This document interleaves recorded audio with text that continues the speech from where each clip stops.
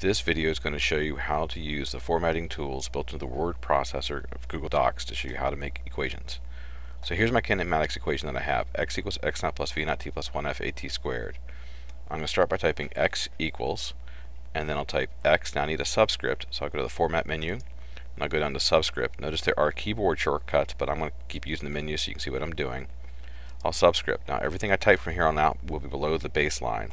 So I'll type a lowercase o for my zero. Now to get it back on the baseline where the x is, I'll go to format and I'll hit subscript again. That'll turn it off. Then plus v, I need a subscript for the zero. So insert subscript zero, turn off the subscript, and now you can see where the keyboard shortcuts come in handy. So turn off the subscript and type the T. And then I'll type plus. Now I need my fraction. The cool thing is Google will recognize this. 1 half space and when I hit the space it realizes what I'm doing and just types a 1 half there.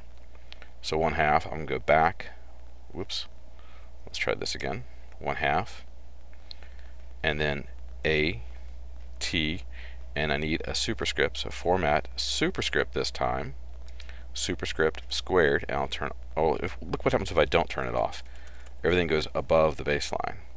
So that's why you got to turn these superscripts and subscripts off put every all the text back on the baseline.